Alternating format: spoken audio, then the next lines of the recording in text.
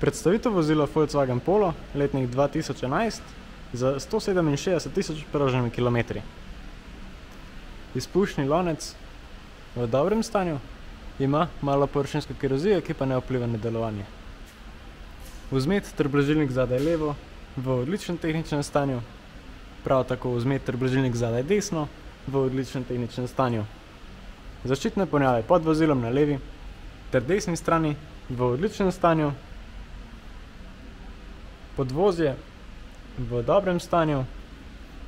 Manšeta, vzmet ter blažilnik spredaj levo v odličnem tehničnem stanju. Prav tako manšeta, vzmet ter blažilnik spredaj desno v odličnem tehničnem stanju.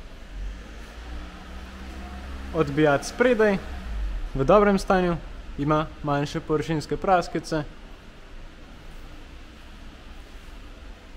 Pnevmatika ter platišče spredaj desno v dobrem stanju.